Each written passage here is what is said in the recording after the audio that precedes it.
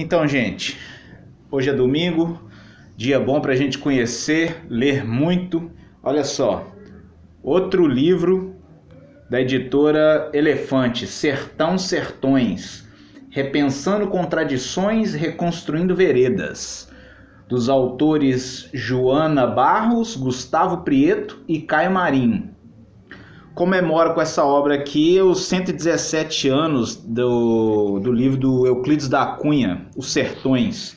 Um capricho da editora Elefante para fazer uma produção editorial dessa é inegável, né? Olha só, no começo do livro aqui, olha,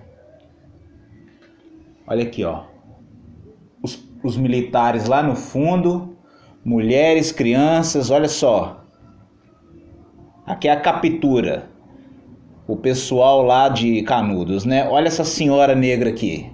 Olha o olhar dela.